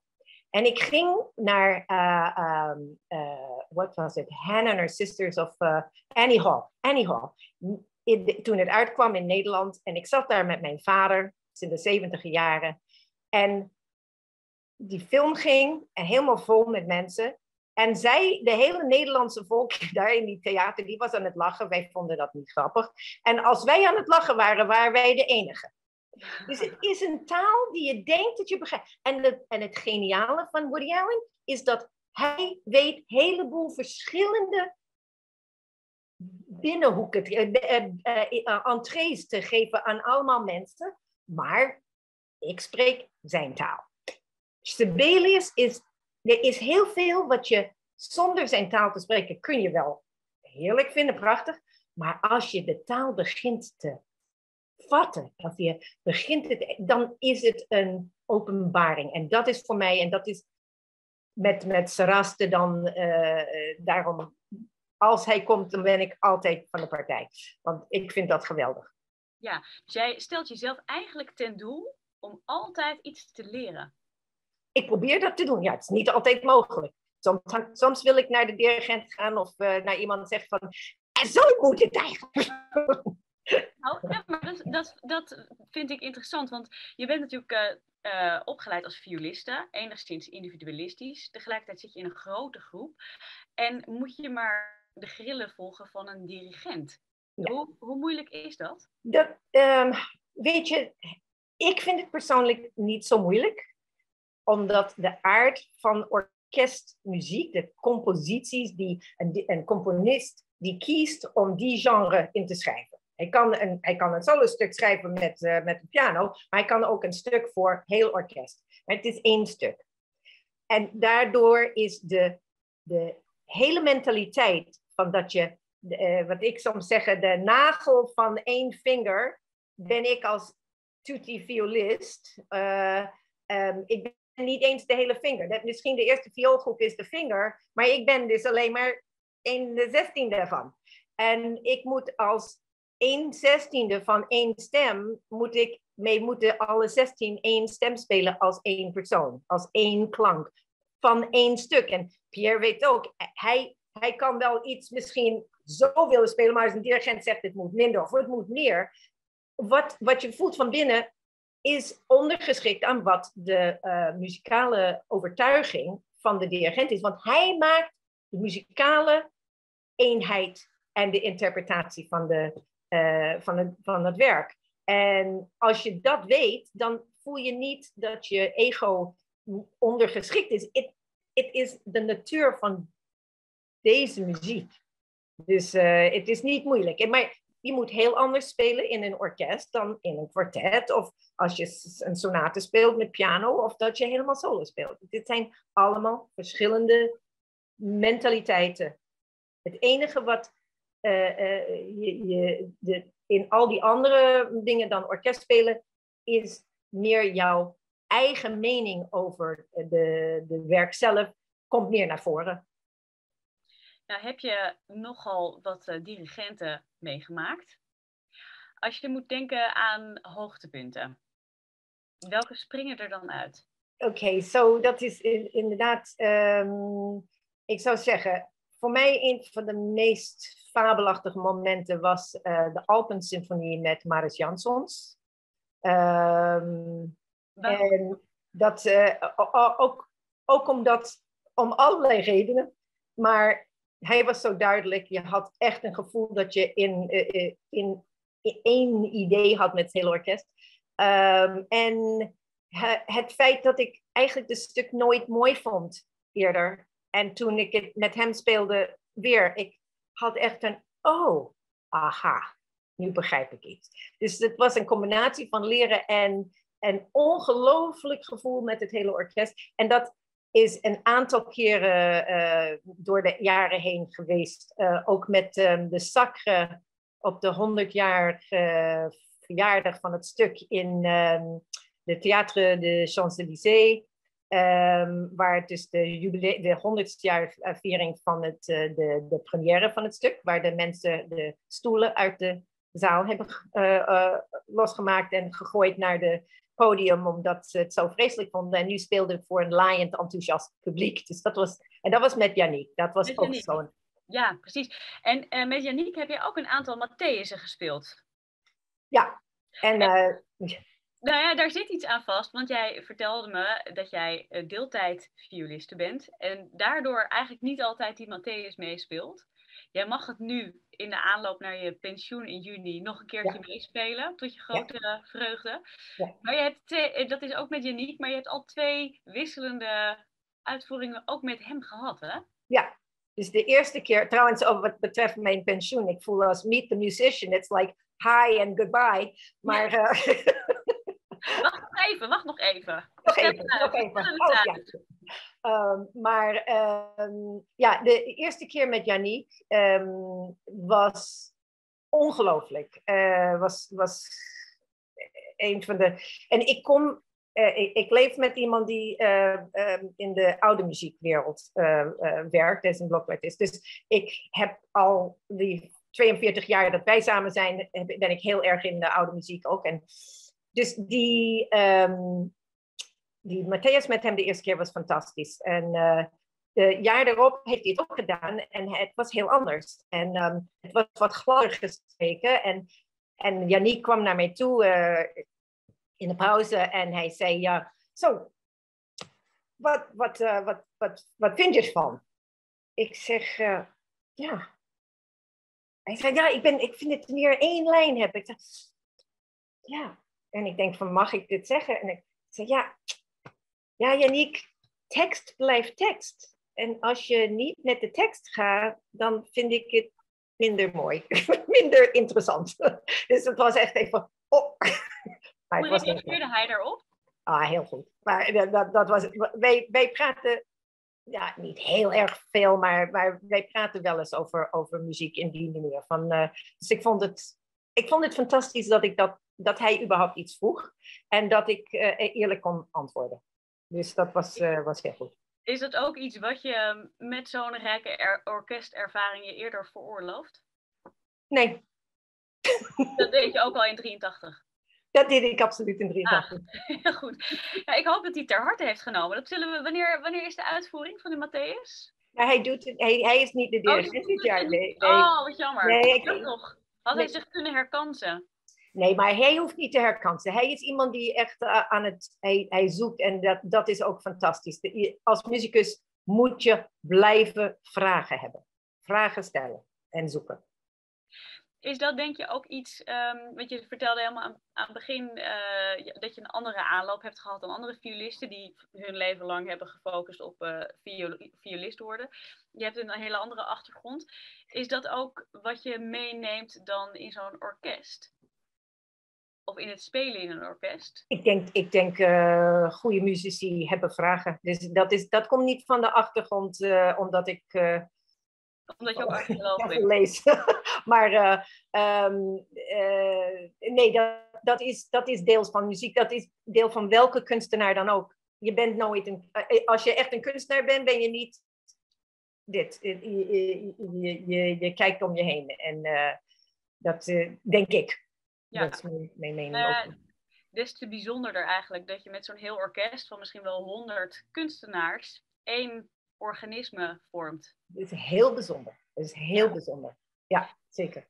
Ehm Shelly, dankjewel. Ik, ik zou graag Pierre erbij willen halen, want ehm, er is één ding ook naar voren gekomen in ehm, het gesprek met jullie. En dat is gek genoeg ook al in een eerdere editie van Meet the Musician naar voren gekomen. En dat is die uitvoering van Vrouw ohne Schatten van Strauss. Ik vind het zo wonderlijk dat elke muzikus daar eh, individueel zo laaiend enthousiast over is. Ehm, en Shelly, om te beginnen met jou, want jij speelde niet mee. Ik er niet mee. Nee. En toch was je, je was tot, met andere muzici helemaal weggeblazen, zelfs tot tranen geroerd. Wat, wat, wat gebeurde daar? Dat is, dat is, er gebeuren eens of twee keer in misschien in je hele loopbaan. Ik was in de zaal de laatste uitvoering. Pierre, heb jij gespeeld? Ja, Ik heb ja. gespeeld. Ehm, het, ik, weet, ik weet eigenlijk niet wat gebeurd was. Dat was een soort samenloop, eh, de, de, de, de tegenovergestelde van de Perfect Storm. Het was alles wat het maakte tot iets. Alles klopte, waardoor de muziek voor iedereen. Het is geen makkelijk muziek, het is kei moeilijke muziek. En eh, de, de, de manier waarop het zonder inscenering toch geïnstalleerd was. De, eh, de samenwerking van de, van de zangers en, de, en het orkest en, en Jannie. Ik weet niet, wat gebeurde is, ik, ik, ik, op een gegeven moment in de pauze ging ik naar achteren en ik was helemaal aan het trillen en ik zag een collega die niet zo vaak eh, heel emotioneel is over muziek en die en ik ging naar haar toe en, en, en, en wij omhelsden elkaar, maar we waren gewoon aan het huilen. Het was, onge- zij speelde, ik speelde niet, maar wij waren allemaal gewoon kapot ervan. Dus ik, Pierre, hoe heb jij dat ervaren? Want ik weet dat jij toen eindelijk een hele mooie solo had. Nou, nou, nou, dat heb je niet helemaal goed begrepen. Dat er is, eh, dat zal ik zo even uitleggen. Maar het is wat, wat Shelly zegt, ik sta natuurlijk op het podium. En eh, ja, die, die vrouw in de chat is, is een dusdanig moeilijke en, en wilde muziek op het podium. En, en eh, ik denk dat op dat moment op de een of andere manier... We hadden een fantastische cast aan zangers. En het orkest was echt heel erg goed voorbereid. En, en Yannick ook. En op de een of andere manier, ook al was het zo ontzettend massaal wat op het podium gebeurde op de een of andere manier werd het toch transant, zonder dat er heel veel. Want ook daar gelden weer voor, als je vergelijkt van zo'n stuk wat we toen gespeeld hebben, qua repetitietijd was het niet enorm. En het liep eigenlijk vanaf het eerste moment was het al heel erg eh, emotioneel wat er gebeurde. Je voelde gewoon bij, bij, bij iedereen op het podium van, "Wow, dit, dit wordt echt te gek, weet je, hier gaan we wat van maken. En dat, dat gebeurde ook echt. eh, dat, dat alles viel op zijn plek. Ook al was het nog zo hondsmoeilijk soms wat er, wat er moest gebeuren, maar dat, ja, dat, dat werkte gewoon. Maar Jet, wat jij, eh, we hadden natuurlijk met elkaar gesproken erover, dat ging het over, die solo's eh. Er is, er is dus namelijk ook een versie voor, echt, een orkestversie zonder, eh, zonder zang, is er gemaakt van, eh, van de Vrouw in de Chatten. En daar zitten ze echt een fantastisch mooie trombone solo in. En dat, en, en dat is eigenlijk een, een tenoraria. Die Oh. hebben dus van die zangers omgeschreven naar, eh, naar, de, naar de trombone. En dat was op een gegeven moment wat ik zei, van, ja, dat mis je als trombonist wel eens, dat er echt van die hele mooie lyrische solo's in zitten. En dan in, in, toevallig in die bewerking eh, van, van die vrouw in de chatten zit die solo in de trombone. Dat is echt fantastisch om te spelen. Dus Dat, eh, maar goed, als je dus dat dus op, als een zanger dus ook kan, kan en mag zingen in dat hele stuk, ja, dat, dat is een fantastisch moment. Het is zo mooi. Ja. Heerlijk. I- Is er dan eh, contact? Want kijk, ik kan me voorstellen, jij, eh, Pierre, eh, jij focust op je eigen partij, op je eigen groep. Misschien zelfs wel op het koper. Ehm Shelly, jullie moeten natuurlijk als eh, groep heel erg samenspelen en zijn in die zin ook op elkaar gericht. In hoeverre heb je dan ook bij dat soort momenten contact met die andere groepen? Is, is er wel eens zo'n wisselwerking dat je ineens denkt dat, dat er ineens zo'n contact Ja. is naar het koper en dat je denkt, ja, we voelen nu hetzelfde? Ah, Ja, absoluut. Ja, dat, dat is eigenlijk continu zo. Het is echt absoluut. Dit- Ja. je, je moet je voorstellen dat wij luisteren echt naar alles wat gebeurt in het orkest. Er, er is, en het was iets wat Pierre zei in de, toen je hem interviewde over hoe je met je collega's omgaat en wat je, je wilt dat het goed is. Het is. Wij zijn zeg maar allemaal delen van één instrument op het moment dat wij spelen. En natuurlijk, eh, je hebt je eigen gevoel van ik wil het goed doen. En je wilt voor iedereen, het is, iedereen is er voor het beste van de uitvoering. Niemand is blij als, als het niet goed gaat voor iemand. Dat is, maar daardoor is iedereen heeft het beste ervoor. Het is een beetje skateboarders. Weet je, als iemand een grote solo heeft en, en, en, en dan heeft een andere, je luistert, je luistert echt gewoon met plezier en eh, dat- dat, skateboard eh, eh, soort ehm, cultuur van iemand doet iets en dan iemand doet iets. En iedereen is even blij. Of jazzmuziek. Er is een gevoel van saamhorigheid op het moment dat iedereen aan het spelen is. Van, want we zijn één stuk aan het spelen. En juist, ik moet je zeggen, ik heb nooit gezegd tegen Pierre, maar ehm, eh, ik, ik weet dat als tutti strijker wij hebben een heel andere leven in het orkest dan, dan de blazers en zeker al- dan ook de soloblazers. Maar wij spelen inderdaad allemaal één stuk met, met 16 mensen, wat dan ook. En zij zijn daar, boy, iedere keer zijn zij gewoon aanwezig, echt, echt aanwezig. Kijk, als ik een slechte dag heb, ik, ik wil niet slecht spelen. Maar als ik een keer denk van, oh god, ik ga dat hoge noot missen, dan weet ik na 39 jaar hoe ik kan lijken alsof ik het doe, maar ik stoor niet. Maar dat kan Pierre niet doen. Hij moet gewoon spelen. Hij Ja. kan niet. eh, eh, en, ehm, en, ik, en er zijn sommige momenten. Wat was dat stuk wat we niet zo lang geleden speelden? En jij had een enorm solo. Het was prachtig. De derde En- maler. Dat was in de maal. En toen had jij. En dat was. Het was ja, en dat was. Alsof. Ik begrijp niet dat iemand zoveel lucht heeft. Het was alsof er gewoon een, een soort blaasbalk aan vast is. Hij hoefde niet te luchten. Het was, het, en dan ging die noten groeien. Het was zoiets bijzonders. Zoiets bijzonders. Hoe vaak hebben jullie eigenlijk onderling, eh, ik bedoel niet alleen jullie twee, maar alle, alle mensen van het orkest contact met elkaar om soms elkaar dit soort feedback te geven? Nou, kijk, eh, je spreekt elkaar best wel vaak. Hè? We hebben het in, de pauzes, maar vooral op tournees. Hè? En op een gegeven moment is het wel, vind ik, dat, dat vind ik altijd wel bijzonder als je op een tournee bijvoorbeeld in een vliegtuig terechtkomt. Eh, het, het gaat soms een beetje op alfabet, maar je zit dan va- vaak, kijk, als je in de pauze hebt, zitten er heel veel mensen die, je hebt toch vriendengroepjes in, in het orkest die, die elkaar opzoeken. En dat zijn vaak blazers bij blazers en er zit af en toe wel eens wat tussen de strijkers door, maar je hebt vaste groepjes bij, dus bij ieder bedrijf. Maar als je in een vliegtuig of een bus terechtkomt, eh, ja, dan zit je, ja, maakt niet uit naast wie. Op een gegeven moment kom je naast iemand te zitten. En er ontstaat er altijd wel een of ander gesprek over. over. En eigenlijk ook over de vraag die je net stelde, over hoe dat dan gaat op zo'n podium. Als je, als je dus ook als, als trombonist eh, of als, als blazersectie, je zit altijd te luisteren naar wat strijkers doen. En eh, hoe, ze, hoe ze dingen afronden, hoe ze melodieën spelen, wat voor klank ze met, ze met elkaar maken. En daar probeer je in te passen. Dus, eh, dus niet ieder, ja, wat we dat straks over, over als je over met veel energie speelt, niet ieder fortissimo is, is hetzelfde fortissimo. Hè? Vergis je niet, de strijkers kunnen ook uit hun plaat gaan helemaal. Hè? En dan, dan gaan wij daarin mee. Dus, maar, en en dat, dat soort gesprekken, dat, dat heb je ook wel als je, als je met elkaar in een bus zit of in, of, of, of in een hotelbar, dat, dat, je, dat je elkaar daar tegenkomt. En dat gaat niet altijd gewoon alleen maar over feest of wat dan ook, dat je denkt, oh, dat is gezellig. Maar het gaat heel vaak over van, gek wat er op het podium gebeurde en hoe kunnen we dat altijd zo hebben. En dat, uh, ja, dat, dat hou je wel in. Maar ook simpelweg het, contact, het oogcontact wat je kan hebben op het podium met, met mensen die om, ik bedoel, de meeste strijkers kijken vaak om zich heen. Hè? Die kunnen de, altijd de helft van de partij uit hun hoofd, wat, wat Shelly al zei. Dus die zitten altijd wel een keer rondgedraaid. dus die kijken ook altijd wel een keer onze kant op. Dus je hebt altijd wel met iemand een keer uh, oogcontact uh, tijdens concerten of repetities. Dat is, dat is heel leuk. Dat is dat, uh, ja. ja, in die zin is, er, is de support altijd twee kanten op, ook buiten je eigen sectie. Absoluut, absoluut. Ja, maar het, wat, wat ook ook zei, hè? Je, je kan als sectie niet op een eiland gaan zitten. Hè? Dat, dat is onmogelijk gewoon. Dat, je moet het met elkaar doen. Als je denkt van, uh, oké, zoals wij het doen, uh, zo, moet het. Ja, dat hou je een halve repetitie vol. En dan, dan grijpt er wel iemand in uiteindelijk. dat, dan ben ik wel benieuwd, Pierre. Want kijk, Shelly zit lang in het orkest. Die, ze heeft verteld over, over de ontwikkelingen. Vooral het kleiner worden ook. Um, hoe, jij zit ook al 25 jaar in het orkest. Dus jij hebt die violengroep bijvoorbeeld ook zien evolueren. Hoe, um, hoe kijk jij daarnaar?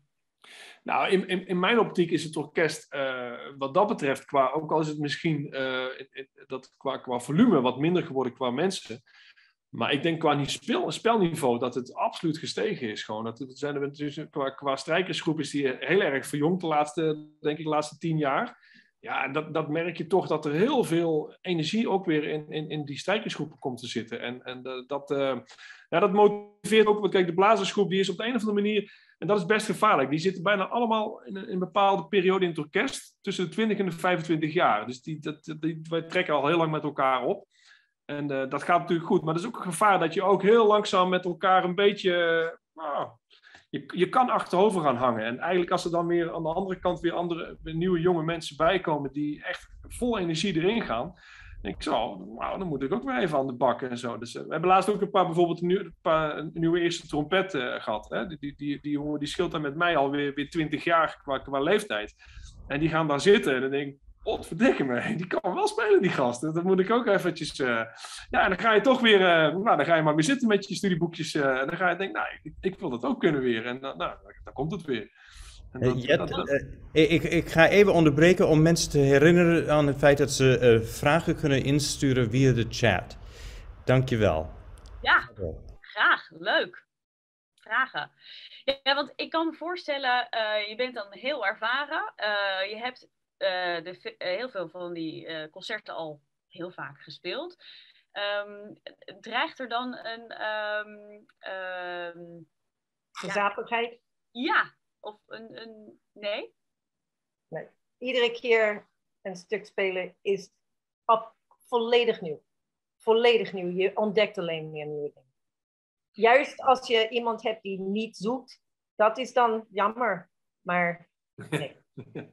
Je probeert elke, elke keer dat je een stuk speelt, ook al heb je het al twintig keer gespeeld, het als nieuw te zien. Ja, het is, ik, ik hoef niet eens te proberen. Iedere keer ontdek je iets je denkt, oh my god, dat is een omkering. Oh my god, kijk, hoorde je dat? Eh, hoorde je die, die, die, hoe de hoorn dat overneemt? Oh, en dat is gewoon altijd. En, in hoeverre uh, herken je wat, wat Pierre zegt, dat, dat achteroverleunen dreigt en dat je dus eigenlijk toch weer op het puntje van je stoel moet zitten en misschien toch nog moet blijven studeren? Nou, ik, ik, wat ik zei, van, uh, als er nadeel is van het feit dat ik later al mijn techniek heb gekregen, dat is dat ik waarschijnlijk meer moet studeren dan misschien sommige van mijn collega's. Ik studeer keihard dat, uh, aan het oneindigen. Um, en, en, maar dat is ook prima, want ik wil altijd voorbereid zijn. Maar um, wat, ik moet zeggen, ik heb. Het is bijna een, uh, een, een, hoe heet dat, een contradictie om mij met um, achteroverleunen. Maar dat, dat heb je. Ik ben gewoon niet iemand die ooit eens iets met een korreltje zout neemt. Dat is gewoon voor mij soms niet zo goed. Maar ik, iedere keer, ik, ik kan het gewoon, ik probeer soms uh, van oké, ik neem dit gewoon voor, en het is gewoon voor mij niet mogelijk. Dus ik, ik moet zeggen, um, uh, voor mij is iedere keer even. Um, uh, ja, hard werken Nee, maar hard werken, maar ook genieten van de muziek en, en even enthousiast. Ik hoef mezelf nooit te zeggen van oké, kom maar, je moet echt gaan spelen. Dat is, uh, maar ik denk dat Pierre dat ook niet. Uh, nee, nee, nee. Ik, ik, ik, bedoel het meer als je. Kijk, als je, als je dus heel lang met, met dezelfde groep van mensen zit dan, dan raak je zo op elkaar ingespeeld dat, dat alles bijna automatisme gaat worden. Hè? Als je, je merkt, als iemand ademhaalt, dan merk je al, of je kan al horen wat, wat er gaat gebeuren, hoe, hoe, die, hoe die gaat spelen. En, en ja, ja, ja. Eh, dat zijn natuurlijk zulke automatismes, dat als er dan weer nieuwe mensen bij komen, die doen het weer net even anders. En dan, dan word je toch wel weer wakker. Omdat je, kijk, ik, ik zit natuurlijk naast Remco de Jager, hè? Die, daar, zit ik, daar heb ik mee gestudeerd. Dat is zelfs mijn zwager, is dat ook. en dit, is, dus... dit is heel erg nauw. Ja. Dus ik, en wij zijn echt vanaf dag één op het conservatorium, we hebben samen auditie gedaan, zijn, zitten wij eigenlijk bij elkaar. Dus sinds, zeg maar, sinds, sinds 1 september 1990 tot aan nu zitten wij dagelijks zo'n beetje naast elkaar. Dus dan kun je je voorstellen, ook als wij, we, wonen ook vlak naast elkaar, hè? in, in hetzelfde dorp. Dus we zitten vaak in de auto. En uh, dat is natuurlijk, als, als hij ook maar iets doet, dan weet ik exact wat, wat hij gaat doen. Ik bedoel, ik, ik, ken, ik denk dat ik hem beter ken dan mijn eigen vrouw. En, en, dat, dat, is, uh, dat, dat is gewoon zo, zoiets aparts. Gewoon dat, dat je gewoon met je ogen dicht gewoon iets, iets kan doen. En, en het werkt gewoon altijd. En dat is natuurlijk wel een, wel, een, wel een beetje een gevaar. Zeker als je dan met mensen in, in je groep gaat spelen die dat niet gewend zijn. Ja, die moet je, dan moet je wel weer even bij de les raken van oké, weet je, niet iedereen snapt dat. Hoe, hoe makkelijk het sommige dingen kunnen gaan. En dat, uh, dat bedoel ik daar een beetje mee. Dus het houdt je fris als er nieuwe mensen komen. Zowel eh, in, in de strijkersgroepen als, als bij ons bij de blazers. Dan ga je toch weer een beetje anders luisteren daarnaar. En dat, uh, zo werkt dat. In hoeverre, uh, als, als er dan weer nieuwe mensen bij jullie uh, in de groep komen, uh, naast je of, of in de, in de toetiegroep, um, kun je, heb je, kunnen jullie iets, iets, gemeenschappelijks zeggen over wat je dan meegeeft van die orkestklank? Want Pierre, jij zei het al, energiek, lekker gas geven. Shelly, hoe, hoe, zie jij dat ook zo? Of, of heb jij iets anders wat je... Het is voor een, voor een groep die, waar je zegt van één, één lijn wordt gespeeld door uh, eh, 16 mensen, zeg maar, is toch een andere mechaniek dan um, verschillende lijnen op één instrument samen met, met vier of vijf mensen. Um, ik, ik begrijp wat Pierre zegt. Dat zou bij een, zo'n vioolgroep zou dat alleen maar fabelachtig zijn als we zo ontzettend op elkaar ingespeeld zijn dat we weten als een, als een dirigent vraagt poem, dan doet iedereen gelijk op dezelfde manier poem, weet je wel. Maar uh, dus het is um, met een groep zo, zo groot als zo'n een vioolgroep of een cellogroep, is het erg belangrijk dat, uh, dat iedereen leert denken op een eh, één lijn. En dat is, uh, ik moet zeggen, COVID is niet uh, echt bevorderlijk voor het maken van de, een, een één klank van een, van een groep zoals wij hebben. Dat zou terug moeten um, geleerd worden. Ja, dat is moeilijk. En zeker voor jonge mensen die nog niet zo lang in de groep zijn, om inderdaad, wat, wat, wat Pierre heeft um, met Remco, dat, dat ze dat al zo twintig jaar of meer uh, dat ze dat samen hebben, of meer eigenlijk. Um, en wij hebben dat, uh, iemand komt nieuw binnen, je moet de routine, de klanken, de ideeën, de manieren, um, dat komt met tijd. Dat is de routine van later, maar dat moet komen voor de jonge mensen om in te voegen. En deze tijd is, is ik heb echt met jonge mensen echt te doen in deze tijd qua orkestcultuur.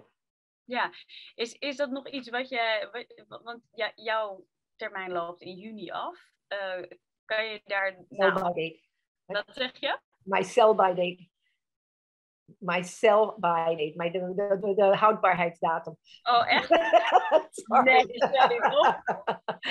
nee, sorry, wat zei je? Uh, ik... Um, nee, maar um, uh, jouw orkestbaan loopt af. Is, is dat nog iets wat je dan misschien nog zou door willen uh, zetten? Om, om juist die klank, je hebt zo, zo lang dat Rotterdamse Philharmonisch Orkest ervaren, om dat nog mee te geven aan de strijkers die dat misschien door die hele COVID dan missen? Ja, nee, er is, ik ben, dat, dat is eigenlijk werk van concertmeesters en dat soort dingen. En dus ik, ik, ik kan wel met mensen praten als er in zit, maar ik, ik kan niet bepalen. Dat, is, ehm, dat moet men leren door, door naast elkaar te zitten en, en gewoon te ervaren van elkaar en te groeien naar elkaar. Dus wat dat betreft, nee, mijn, mijn functie wat dat betreft is absoluut um, dan over als, als ik weg ben ja, dan, dan ga je in de zaal zitten en kijken hoe ze het doen. En ja. kijk hoe ze het doen. ja. Um, ja, volgens mij hebben wij, uh, is er nu ruimte ook voor vragen. Maar allereerst, uh, ja, Shelly, uh, ik hoop dat je tot juni nog heel veel kan spelen. Ik hoop het ook.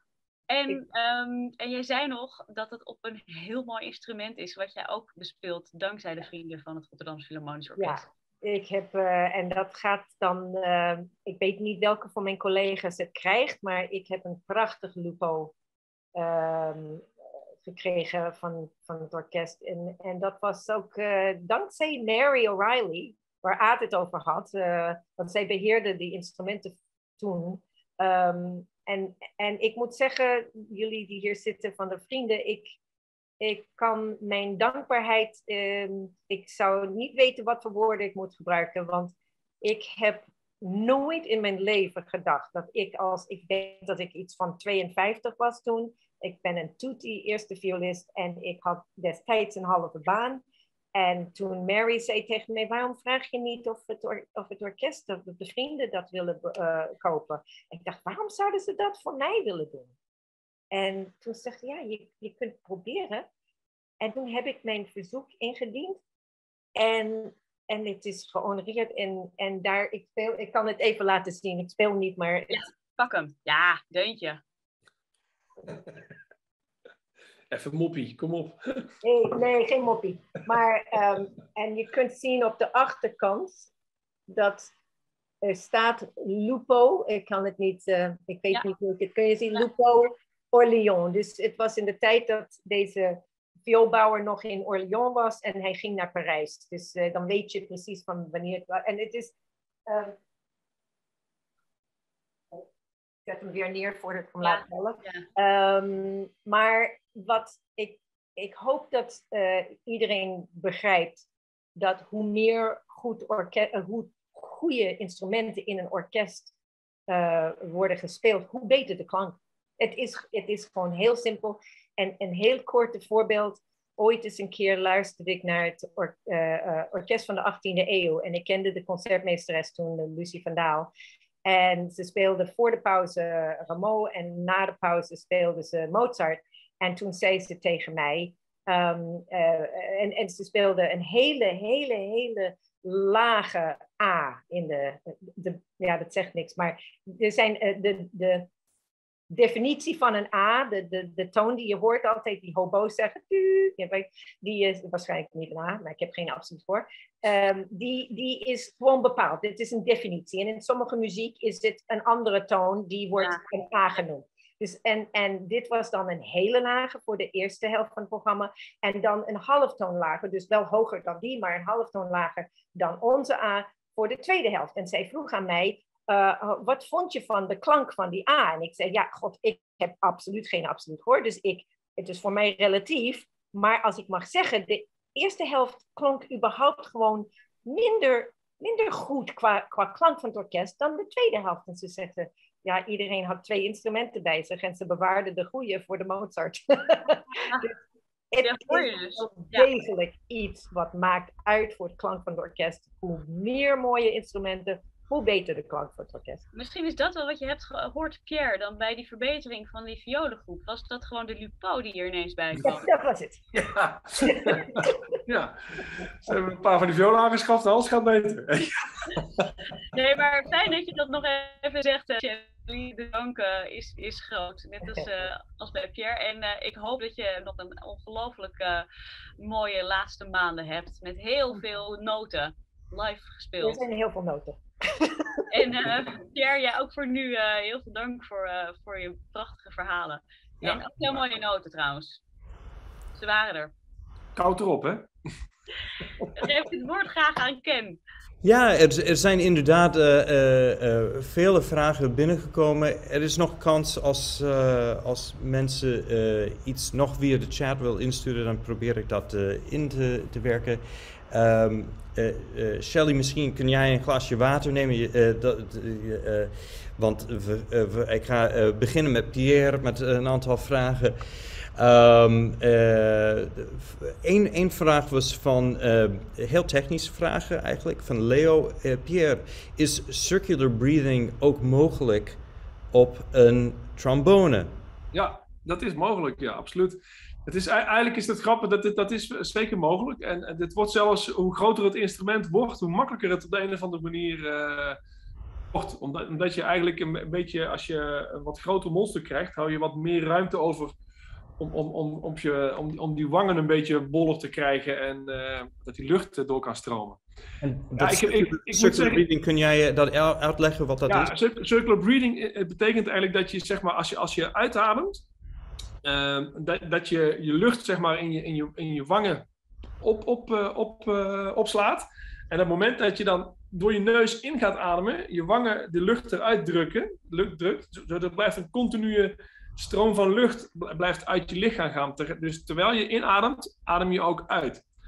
En, en dat, dat, is een, uh, dat is een aparte techniek. Die moet je, dat, dat, dat, dat, dat moet je een beetje in je hoofd uh, moet je dat eerst voor elkaar krijgen. Dus dat je inademt, maar tegelijkertijd ook uitademt. Maar dat, is, ja, dat, dat, dat werkt dus makkelijker als je een wat groter mondstuk hebt. Dus bij trombone, tuba is het iets eenvoudiger dan bij trompet en hoorn. Omdat die veel, veel compacter zijn. En dus meer die spieren nodig hebben om het, om het goed bij elkaar te houden. Als het bij tuba of een trombone kun je die, die wangen wat makkelijker opzetten. Lucht ja. in opslaan. En dat ook weer uitpersen naar je, door, door, door, de, door, het mondstuk heen. Dus je gebruikt je wangen als een soort bla, blaasbalk. Ja, ja, eigenlijk wel. Dus een ja. soort, soort van hamsterwangen, daar, komt die lucht in. En dat, dat tegelijkertijd uh, uh, pers je die lucht met je wangen eruit. En je haalt door je neus, haal je, haal je adem. Ja, dat, nou, dat, dat, dat sluit aan bij uh, andere vragen. Dus uh, over hoe de embouchure van een trombone of tuba anders is dan bij, bij trompetten. Um, misschien kun je dat uh, even iets over zeggen, maar er was ook een vraag van Dina. Hoe leg je een eigen accent in het trombone spelen? Uh, even denken, nou, wat, wat, wat, wat doe je precies met een accent? Bedoel je qua, qua uh, echt ja, technisch? De vraag is van Dina, uh, maar ik denk, uh, hoe, hoe als ik het goed lees, dan hoe geef je een eigen signatuur aan je klank?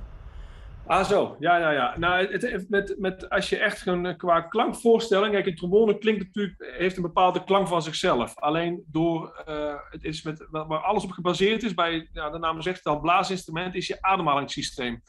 En hoe, hoe beter je dat onder controle hebt, hoe, hoe ontspannender je lichaam is, hoe makkelijker je je geluid kan beïnvloeden. En ik noem het altijd bij leerlingen, je, je hebt een verschil als je bijvoorbeeld, en dat kan iedereen gewoon meedoen, als je nou, op je, je hand voor je mond houdt, je kan op twee manieren lucht uitblazen. Je kan koude lucht, als je een, hele, hele snelle uh, en met een vrij geknepen eh, manier van, van, van je lippen lucht uitblaast, dan voelt het koud aan. Als je iets, ietsjes meer ruimte maakt, dan wordt die lucht wordt warm als je diep inademt. En eigenlijk het verschil met warme en koude lucht, dat is ook een kleur wat, wat je kan doen met, met een instrument. En het is wel grappig om, omdat deze vraag komt. Want ik, ik zei daar straks toe, hè, wij luisteren als blazers ook altijd wat, wat strijkers doen. Hè? Als, als, als, als strijkers een heel mooie warme klank maken in, in, in een langzaam deel en we moeten daarna met een akkoord in.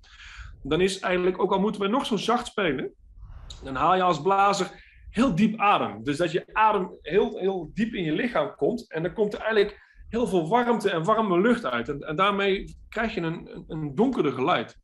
Terwijl als wij heel erg, bijvoorbeeld als we symfonie van Shostakovich uh, voorbij komen, waar een enorme bak energie eruit moet komen, dan gebruik je een ander soort uitblazen. Dus dan haal je wat diep adem, maar de, de luchtsnelheid wordt veel hoger en agressiever. En dan krijg je een beetje een, eh, een, een, een ander timbre van het, van, het, uh, van het instrument. En zo kun je dat een beetje sturen. Maar het is met name wat je in je hoofd hebt. Dus wat je luistert en je denkt van zo wil ik klinken dat kun je dus ook op de een of andere manier voor, voor elkaar gaan uh, krijgen. Maar het heeft alles met je ademhaling te maken. Heel interessant. Uh, is technisch en, en, en ook mentaal Interessant uh, verhaal. Um, uh, in ieder geval is het uh, eufonisch, zeg maar, mooi klinkend, zo, ja. zoals de eufonium heet. Ja. dus dank je wel. Ik ga Shelly een paar vragen stellen en dat doe ik eigenlijk zelf als Amerikaan. Eerst moet ik zeggen, Shelly, volgens mij spreek je volledig accentloos. Oh, ja, ja, dat is dat, dat als eerst, helemaal zonder accent. Um, net als ik. Maar uh, typisch Amerikaans vind ik het dat um, uh, je bent flexibel qua instelling van je, je, je werk. Ja? Als je be begint in archeologie en dan kies je op een gegeven moment voor muziek.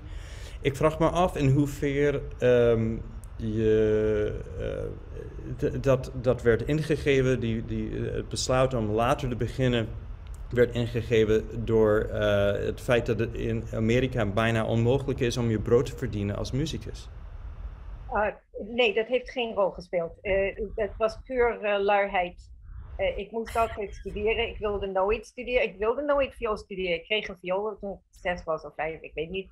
En ik vond het altijd leuk om te spelen, maar ik vond het niet leuk om te studeren. Dus ik loog zoveel mogelijk en ik deed zo min mogelijk. Maar ik vond het altijd leuk om te spelen. Ik vond het niet leuk om te studeren. Dus het was nooit, echt gewoon nooit mijn idee dat ik... Ik, ik, ik ook dacht ook nooit um, uh, uh, helder genoeg door om te denken over moeilijk of makkelijk uh, financieel bestaan. Ja, nou, en nog, nog een vraag over Amerika. Als jij tegen, uh, met, met Amerikaanse collega's uh, spreekt over jouw ervaring in Rotterdamse Philharmonisch, wat valt hen op uh, over ja, jouw ervaring hier? Bedoel je met orkest, ja, andere dus, Amerikaanse orkest? worden mensen verbaasd over hoe dingen hier gedaan worden of hoe, hoe, hoe het werkt? Um, mijn enige contact met Amerikaanse muzici zijn de andere Amerikaanse muzici in Nederland. Dus uh, ik hoor meer over hun ervaringen, zoals van Mary O'Reilly, die veel in Amerika heeft gedaan. Uh, dat het gewoon keihard is. Als je een auditie hebt in Amerika, dan heb je misschien 5000 mensen die op een uh, plek achter in de tweede violen komt. En dan wordt het uiteindelijk 250 mensen die mogen echt spelen. En dan wordt het, ik bedoel, toen ik kwam waren er 14 mensen. Wauw, wauw. Nou, het blijft een internationaal gezelschap, uh, maar ja... Uh, inter... Ken, mag, mag ik daar iets op zeggen? Of, zeker, zeker, zeker. Ik, ik, heb toevallig wel wat contact met, met, met Amerikanen en Amerikaanse orkesten ook. En, en eigenlijk vooral wat, wat nu dus uh, in Nederland aan de hand is en, en wereldwijd met die pandemie, is denk ik dat wij hier in Nederland uh, hoe je het er vindt of verkeerd, je kan er alles van vinden, maar we hebben wel een heel fijn klimaat dat die orkesten nog steeds bestaan en dat wij nog, ook al kunnen spelen we niet, maar wel salaris krijgen. Ja. En dus Amerikaanse orkesten die dus vanaf de een of ander moment dat, dat die pandemie daar ook toeslaat en de boel dicht gaat, maar dan houdt het wel op bij de, heel, veel van, heel veel van de muzici daar. Die hebben dan gewoon geen salaris, dat stopt. En dat is toch, ja, weet je, we kunnen er soms over zeuren dat het lijkt alsof in Amerika bij de grote orkesten de salarissen heel hoog liggen of veel meer verdienen dan, dan wat wij uh, in Nederland krijgen. Maar als er dan echt iets gebeurt, dan denk ik dat je beter toch hier kan zitten dan in bijvoorbeeld in New York Phil of in de Met, in de Metropolitan Opera. Ja. Die hebben toch een heel ander eh, bestaan dan, dan als, als het dan op, ophoudt. Dan hebben ze ook geen salaris. Ja. En geen gezondheidszorg.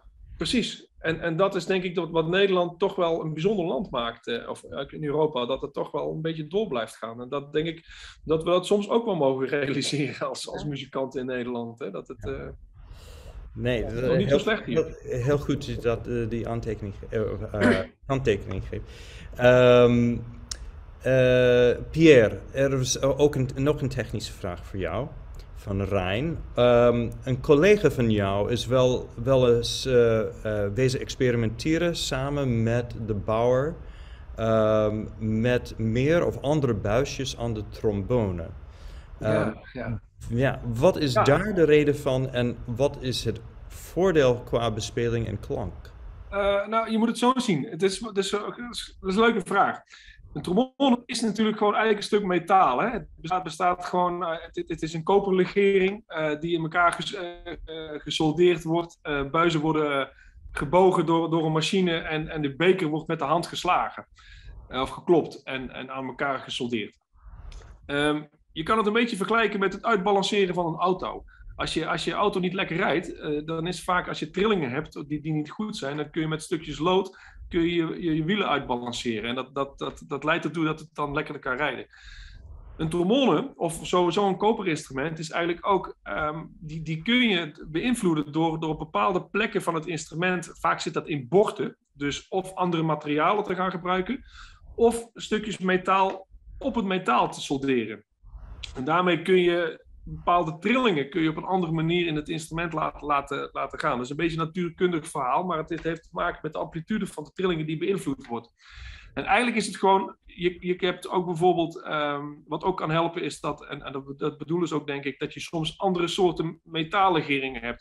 Als je mijn trombone bijvoorbeeld pakt, als je, als je die zou, zou zien, dus bijvoorbeeld de, de stembogen, dat is hetgeen wat achter, achter mij zit, die is van uh, sterling zilver gemaakt. En, dat, en, en de rest van de trombone is van een soort rood koperachtig. En dat maakt er eigenlijk bij dat je, dat je met, die, met, die, met die bocht van ander materiaal, dat de, dat, dat de klank iets verandert. En dat kan dus helpen dat het makkelijk, makkelijker speelt en beter speelt. Het kan ook tegenwerken. Als je te veel doet, dan kan het ook de andere kant op slaan. Dan wordt het een dramatisch instrument. Dan moet je echt uh, terug. Het is, het is, je kan het echt serieus vergelijken met, met het uitbalanceren van een auto. Als je er precies genoeg op doet, lood op doet, dan rijdt hij lekker. Doe je er te weinig, rijdt hij niet. Doe je te veel, rijdt hij ook niet lekker. En dat, dat, dat heeft ermee te maken. Heel interessant. Eh, eh, nog iemand vroeg, eh, Pierre, over jouw instrument. Eh, wat maakte dat jij er direct verliefd op werd? Nou, dat is eigenlijk dus met dit, uh, uh, dat, dat, dat, de materialen dus bij elkaar zo, zo, in elkaar steken en ik ga erop spelen. Uh, en met mijn idee van hoe, hoe, hoe, hoe klank, hoe, wat voor soort klank ik wil hebben. En ik begin te spelen en dat, dat komt er eigenlijk bijna in één keer op die manier uit. Dus je, je pakt het instrument en het voelt in één keer gewoon, hey, ik kan mijn lucht, die, die stroomt er makkelijk doorheen. Het, het, het geluid wat ik in mijn hoofd heb, dat komt er mooi, dat komt er eigenlijk nagenoeg gelijk uit wat, wat ik zou willen. En dat, dat, dat gevoel van in één keer van, hey, dat rijdt lekker, ja, met ja. de auto, ja. dat, dat, dat was daar in één keer. Ja. En als je dus, je hebt dus ook instrumenten, ze maken die instrumenten van verschil, soms ook verschillende diktes. Hè? Het metaal is, dat, dan praat je over hele, hele uh, kleine micromillimeters uh, verschil. Maar op een heel zo'n groot instrument maakt dat in de, in de trillingen die er doorheen gaan, maakt dat, kan dat heel veel uitmaken. En dat is maar net of je iemand die bijvoorbeeld, ja, ik, ik ben natuurlijk een vrij stevig persoon die met, met veel kracht in mijn lichaam. Maar sommige tengere mensen, die, hebben, die, die kiezen een ander soort instrumenten wat ik zou kiezen. Hm. En dat, dat is echt heel persoonlijk. Maar dat heeft te maken met de dikte van het materiaal en, en, de, en de materiaalkeuze. Uh, ja. Dat is, ja. Dankjewel. Uh, en over persoon, persoonlijke relatie met instrumenten. Shelly, ja, over een paar maanden. Ja, je hebt al, al mij gemaild hoe, hoe emotioneel het is om, om afscheid te nemen van jouw instrument. Heb je een ander mooi instrument straks? Um, ik, heb, ik heb een oké okay viool. Het is, het is geen slechte. Het is niet in de buurt van deze. Wat ik wel godzijdank heb, is een geweldige stok. En um, ik zou zeggen dat de, de, de stok is voor een violist eigenlijk wat de lucht is voor een uh, blazer. Dat is je stem. Dat, daar maak je het meeste je, je, klank. Ik bedoel natuurlijk intonatie en, en vibrato en alles. Dat zijn allemaal natuurlijke dingen en hoe, hoe hard je erop drukt en alles. Maar dit is je stem. Dit is echt je stem. Dus dat heb ik, godzijdank, heb ik een prachtige stok. En uh, zolang ik dat uh, kan hebben, dan, dan, uh, dan, ja, op, mijn, op een gewone, goede viool. maar ja, dit is... Oh, goed. Ja, nee, ik, ik weet dat er, er zijn stokken van, van tonnen waard. Dus mensen denken altijd aan de, viool, het viool, de viool zelf, maar ja, de stokken zijn ook heel kostbaar soms. Um, en eh, een, paar mensen vragen eigenlijk, Shelley, over de, de rest van jouw tijd. Je, je bent deeltijd bij het orkest. Wat, wat doe je verder? Dat is één vraag. Een andere vraag is, blijf je na je pensioen nog muziek maken? En ten derde, geef je ook les? Oké, okay. het is makkelijk om achteruit te werken. Want dan kan je mij herinneren wat de eerste was. Um, ik, ik, uh, ik geef uh, kamermuziekles voornamelijk, ook, ook een beetje privéles. dat vind ik ontzettend leuk. En um, omdat ik had laatst een leerling, zijn, zijn volwassen mensen. met een, we kwamen met een Mozart duo en we waren al met de derde of vierde keer dat ze kwamen. En een van die, een van die vrouwen die zei tegen mij, goh, ik begrijp niet dat in al mijn vioollessen niemand praat, heeft ooit gepraat over, over de frasering en de betekenis van wat we aan het doen zijn qua de taal. Dus wat ben je aan het communiceren? En ik zeg, oh, ik wilde eigenlijk zeggen, nou dan was het geen goed les.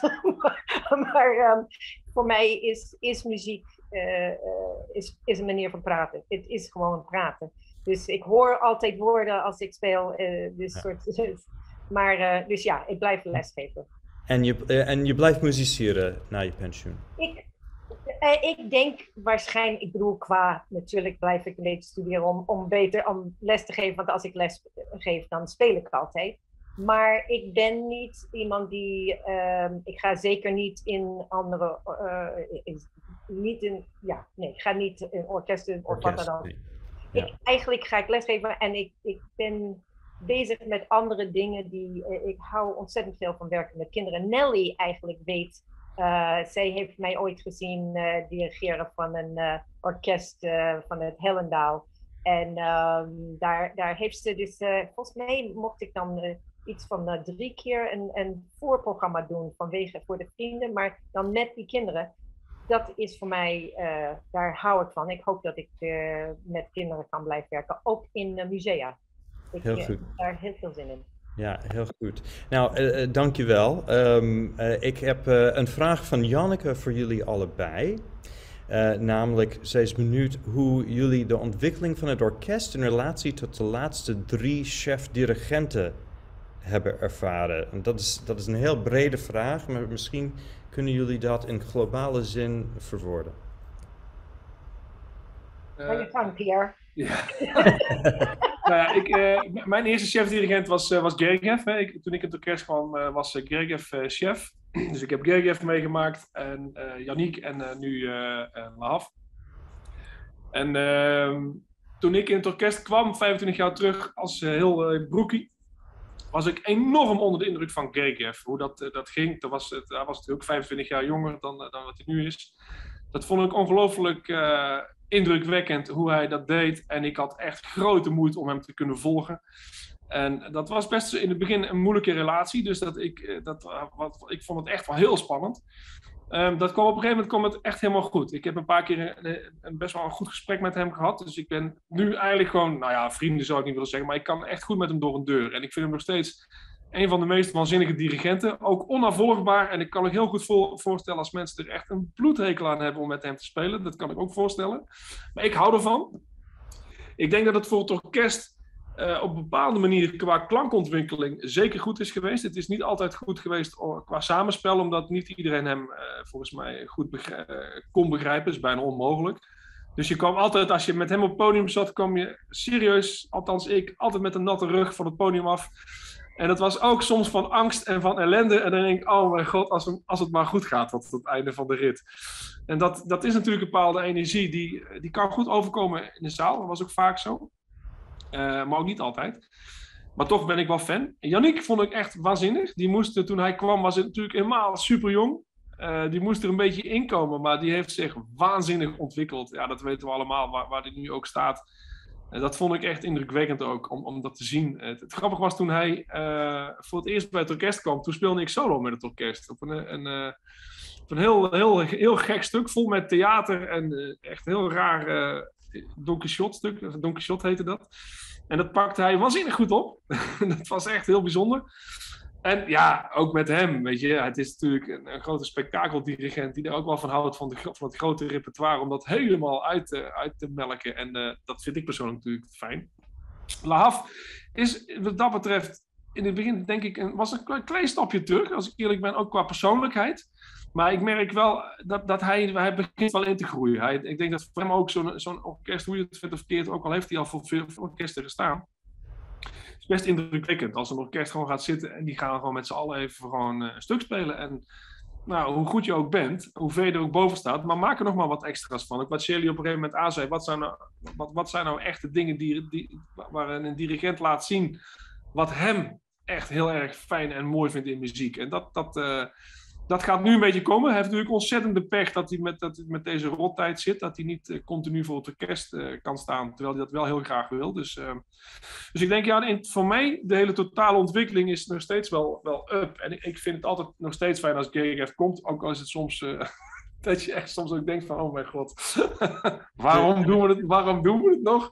Het houdt je scherp, ja? Ja, ik, maar ik hou wel van die man op een of andere manier. En uh, ja, dat, is, dat ik met Janiek ook. Dus ik, ik hoop dat, die, dat, dat ze bij allemaal nog gewoon regelmatig terugkomen. Het is wel goed voor het orkest, uh, ja, denk ik. Ja, heel goed. Uh, dus er is nog een vraag aan jullie allebei in principe, maar ik denk dat Shelly zal misschien meer een antwoord weten. Waarom gaan de bloemen 9 van de 10 keer naar een vrouwelijke violist? ik, ik geloof dat dat um, ten eerste, de, de, er zitten, nou tegenwoordig zitten bijna alleen maar vrouwen uh, in, in de, uh, voor in de inner circle. Maar um, het is een traditie die, uh, ik denk, groeide op het moment dat er überhaupt de eerste vrouw in een orkest kwam. Ah. En, uh, en dan was. Uh, ik, ik denk dat het daar gewoon een, een soort overblijfsel is daarvan. Want nu is het, wordt het bijna uh, grappig als, als vier van de, van de acht. Dat, ja. dan is de ene keer deze, de volgende keer is het heel aardig, weet je wel. Dus Precies. ik denk dat dat een beetje. Ik denk dat het wordt tijd dat het Jaron ook een bos bloemen krijgt, ja? Ik vind het ook. Ik vind het ook. Juist. Uh, uh, Jet, er is een vraag voor jou van Rijn. Uh, namelijk, leer jij ook nog iets van deze sessies en doe je er wat mee? ja, nou, ik zou dan helemaal in de, in de filosofie van Shelley willen antwoorden. Ik leer alleen maar. Ja, van, van de vooral, ja, we hebben dan altijd hele leuke telefoongesprekken vooraf die duren altijd veel te lang. ik zou willen dat deze sessies uh, vijf uur duren. Kunnen we makkelijk vullen. Um, maar neem, je iets, neem je iets mee in jouw presentatie eh, op Radio 4 bijvoorbeeld? Um, ja, ik ga meteen weer allemaal dingen van het Rotterdamse Philharmonisch Orkest draaien. nee, uh, nou ja, nee, ja, ik... Uh, ik weet niet of ik het direct meeneem of ik er nu meteen een, uh, een, een, item aan. Dat niet. Het is niet dat ik het niet. Maar uh, ik denk uh, onbewust wel, omdat het me altijd zo ontzettend veel leert over de mens achter de muzikus en ook ja, de muzikus van het orkest. Of ja, de muzikus achter de mens zou ik bijna willen zeggen. Het, het zijn zo. Het, um, ja, ik, ik kan het niet heel concreet maken. Ik, ik, ik kan niet zeggen dat ik vrijdag meteen. Uh, dat, dat, dat, hoeft, dat hoeft ook niet. Maar, nee. Je, hebt, je hebt mij in ieder geval. Uh, ik ben geen fan van onnodige Engels. En je hebt nu een, een Nederlands uh, alternatief titel gegeven, gegeven. Dus De Mens achter de muzikus. Dus oh, ja. heel beter dan Meet the Musician, denk ik. Ja, dus, nee, heel, heel, ken. ja, ja, onnodige Engels. Nee, nee ik ben vrij uh, purist daarin. Maar goed. Um, ja. Ja, nee, dankjewel. Uh, er, er was ook commentaar van, uh, van Max. Hij uh, wilde ook laten weten dat ook in de zaal was vrouw onderschatten een ongewoon geweldige ervaring. En uh, Janneke uh, wil laten weten dat dit is erg leuk. Uh, en dit is eigenlijk interessant een vraag. Dit is erg leuk. Waarom zijn er eigenlijk nooit ontmoetingen na concerten? Nou, daar hebben we toevallig ook met Jet over gehad. Dat, dat, wilde ik straks al een beetje zeggen. Dat, dat eigenlijk um, de relatie met het orkest en, en de vrienden, dat zou eigenlijk wel iets intenser mogen. En, en, en, en dan bedoel ik met name vanuit het orkest richting de vrienden. Eh, dat we dus eigenlijk meer met, met jullie op zouden moeten trekken. Hè? En het, het grappige is, het, het begint bijna al aan, naar, de, naar de, de uitnodiging die je kreeg, kreeg toegestuurd van, uh, van Nadja. Die eigenlijk bijna een beetje, ja, nou moet je dat zeggen op een goede manier, bijna een beetje onderdanig was of ik alsjeblieft wel mee zou willen werken. En dan denk ik, ja, weet je, jullie zijn de vrienden van het orkest. En ik, ik ben gewoon lid van het orkest. Hoezo ga je Tuurlijk werk ik mee. Dat is toch hartstikke leuk. En, en, en, dat, dat, dat, uh, en ik denk dat dat een beetje vanuit het orkest vooral ook een beetje meer zou moeten georganiseerd worden. Dat ook bijvoorbeeld na concerten dat we, ja, weet je, kom ook, ja, die after is natuurlijk al heel lang niet geweest uh, achter het concert, maar dat, we daar iets meer mee kunnen doen of dat we jullie vaker spreken. Of eigenlijk dit soort sessies, hè. We hebben natuurlijk ook wel eens een keer dat volgens mij in de hal van de doelen gedaan. Dat was het, was het volgens mij meer voor, voor het algemene publiek of, of misschien ook uh, georganiseerd vanuit de vrienden, dat weet ik niet eens meer. Maar het waren wel leuke sessies, hè. Dan heb je een soort van live interview of voor of na of een, weet, ja. Ja. Dat eigenlijk toch wel iets Heel goed. Deze digitale sessies zijn natuurlijk geboren uit, uit, uh, uit nood en uit, uh, in, in, een periode wanneer dat de enige optie was. Maar um, uh, Rijn geeft aan dat jij, Pierre, onze sessies mag promoten onder jouw collega's. Maar ik denk dat zodra het weer haalbaar is, dat wij inderdaad gaan, gaan voorstellen dat die ontmoetingen ook fysiek plaats vinden. Want dit is veel te leuk. Ja, toch? Um, ik, ik moet zeggen, de enthousiasme spat er vanaf, van jullie allebei. ook van jou, Jet. En ook de bewondering onderling en, en ook de waardering voor de vrienden is heel erg te merken en, en heel erg fijn. Um, geeft ons allemaal extra reden om het orkest te steunen met met alles wat wij kunnen. Um, ik, zie geen nieuwe, uh, nieuwe uh, uh, vragen binnenkomen. Dus als Jet, wil jij iets afsluitend zeggen? Nou, ik, ik, ik sluit me even nog aan bij die dank van, van Pierre en Shelly voor de vrienden. Want het is zo ongelooflijk fijn om te merken dat er nog zoveel steun is in deze lastige tijd. En ook, ook zinvol wat jij zei, Pierre, dat, het, nou ja, dat we het eigenlijk ook gewoon goed hebben. Maar um, ja, het, het, is zo, eh, zo waardevol om uh, het orkest te blij, laten blijven leven. Want het is zo'n groot kapitaal wat, uh, wat jullie hebben met het Rotterdamse Philharmonisch Orkest. En elke steun daarbij is ongelooflijk belangrijk. Dus hulde voor de vrienden.